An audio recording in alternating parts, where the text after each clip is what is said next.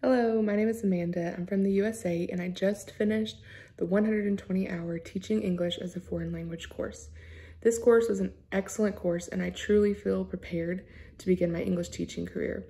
The course was detailed enough um, to help you learn important aspects of teaching English, but it was not too overwhelming. I love that I was given six months to complete this course because at first I was worried about finishing a, a full TESOL or TEFL course due to my full-time job and other responsibilities, but the course was perfectly laid out and I finished well under six months and I learned so much.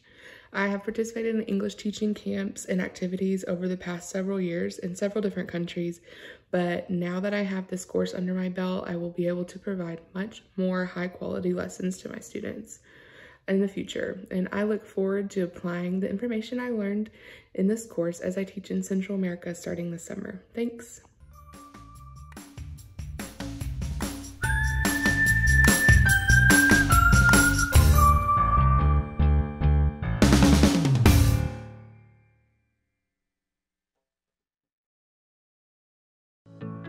Thanks so much for watching. We are ITTT, the leading provider for TEFL and TESOL training courses.